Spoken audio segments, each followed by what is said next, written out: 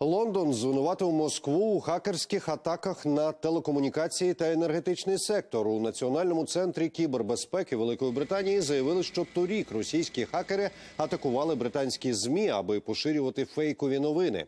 Тепер фахівці працюють над тим, щоб не допустити схожих ситуацій у майбутньому. Раніше прем'єр країни Тереза Мей звинуватила Росію у кібератаках, зокрема у втручанні у вибори в інших державах.